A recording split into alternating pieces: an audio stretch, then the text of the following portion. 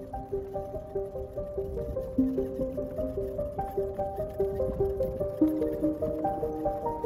you.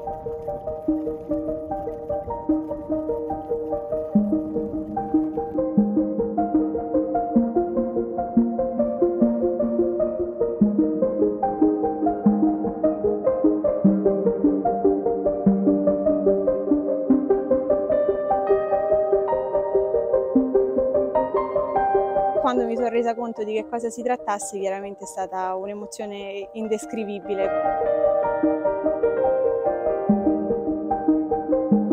Eravamo praticamente alla fine della giornata lavorativa e in realtà poi mi sono resa conto che sul fondo dello scavo era presente qualcosa e prima un grande stupore, una grande sorpresa, poi un po' di preoccupazione perché chiaramente non sapevo uh, cosa aspettarmi, di che cosa si trattasse, quando poi effettivamente ho identificato che eh, si trattasse di un corpo scultoreo, di una figura maschile che rappresentava Ercole, chiaramente eh, mi sono resa conto di essermi trovata nel, nel, posto giusto al momento giusto, quindi è stata un'emozione indescrivibile assolutamente. Vedi qui un po' manca la parte ha riconosciuto per eh basta, guarda. Sì, sì, qui guarda, dai, sì. Manca questo. C'era qualcos'altro. Sì, dai.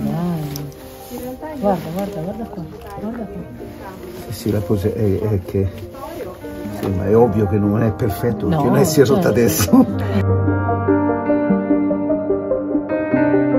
questo scavo proprio non ci aspettavamo di effettuare un ritrovamento di tale rilevanza. Si trattava di una revisione di un impianto fognario della prima metà del Novecento, quindi terreno già compromesso e sotto un riporto ingentissimo di epoca ancora più recente causato dai riporti per l'edificazione del quartiere circostante, quindi sicuramente il ritrovamento è particolarmente emozionante.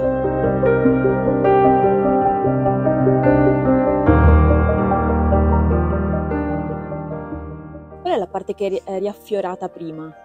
E la testa, La testa. Era la testa, fortunatamente era in condizioni perfette, quindi eh, ho, ho subito capito che si trattasse effettivamente di, di una statua, di una figura maschile e, e ho visto che effettivamente c'erano le zampette di leone sul petto, quindi ho potuto comprendere che effettivamente si trattasse di una figura maschile che è rappresen- rappresentata con eh, gli attributi tipici di, di Ercole, quindi la leontè eh, e poi effettivamente nel- nella terra di riporto ho effettivamente individuato anche parte della clava, quindi era chiaro che si trattasse di una figura maschile rappresentata come Ercole. Poi quando ho effettivamente pulito un po' il volto in una prima fase, perché poi quello è il lavoro che, eh, del quale si stanno occupando i restauratori, e ho notato che eh, era un volto di figura maschile piuttosto avanzata con, con l'età, ho compreso che non era effettivamente Ercole, ma una figura maschile che si era fatta rappresentare come Ercole. Abbiamo ipotizzato sulla base di una serie di somiglianze che abbiamo trovato con della ritrattistica ufficiale dell'imperatore Decio Traiano, ma anche chiaramente dalle caratteristiche stesse della scultura e della statua, appunto, di identificare questo personaggio che intende farsi rappresentare in veste di Ercole con questo imperatore. Decio Traiano regna tra il 249 e il 251 d.C. ed è il primo imperatore che muore in battaglia contro i Goti ad Abritus. Che sia o meno l'imperatore Decio Traiano, a nostro avviso, dalle prime analisi che abbiamo potuto effettuare, dai primi studi sulla, sul volto della statua, che proprio in questo momento viene pulita, viene sottoposta ai primi interventi di pulitura da parte dei restauratori, abbiamo potuto individuare quelle che sono delle caratteristiche tipiche della ritrattistica romana del III secolo d.C. Tra queste proprio le rughe d'ansia, che effettivamente si richiamano a una tradizione iconografica che ha origine ben prima anche dal ritratto romano repubblicano, ma in particolare nel III secolo d.C., che è l'età dell'angoscia in cui l'impero romano comincia a sgretolarsi agli occhi di coloro che vivevano quell'epoca, le rughe d'ansia sono proprio un elemento caratteristico.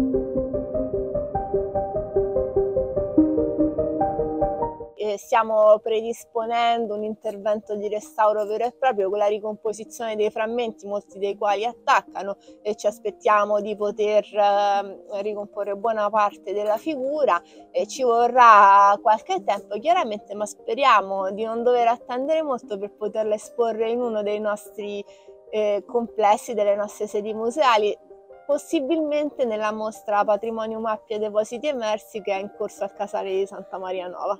Quando sarà ricomposta si può ipotizzare quanto sarà alta la statua?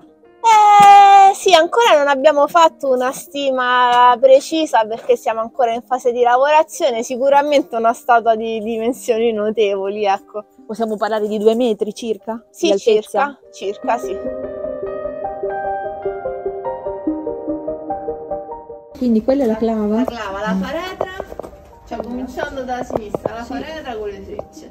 La clava, il pezzo di braccio, pezzo di braccio gamba e sostegno. Tronco, sì. Il tronco. E, l'altra gamba. L'altra gamba, sì. Al ginocchio. Abbiamo prima effettuato una prima pulitura a secco proprio per rimuovere i depositi maggiori, quindi con eh, piccola strumentazione, aspiratori e pennelli, pennellesse di vario tipo. E dopodiché, eh, sempre preliminarmente per studiare anche meglio mh, la finitura a livello di degrado, ehm, abbiamo effettuato proprio un primo lavaggio con acqua di rete, semplicemente spugne e spazzolini. Dopodiché il livello di pulitura successivo sarà valutato da uno studio preliminare, quindi adesso ancora non, non, è possibile dire a che livello si arriverà perché bisogna vedere se ci sono delle finiture, se ci sono delle patine, di quale natura, cosa tenere e cosa no, quindi sarà una valutazione molto, molto attenta che adesso è ancora presto per ipotizzarla, insomma. Qual è la paura di un restauratore che si ritrova tra le mani un, diciamo, un pezzo così importante di storia? Ma Dio, paura, più che altro ci vuole sempre cautela perché mh, ci sono delle operazioni in cui poi non si può tornare indietro, la pulitura è una di queste, per cui ehm, bisogna essere molto attenti a saper leggere che cosa si ha di fronte e che strato stiamo rimuovendo.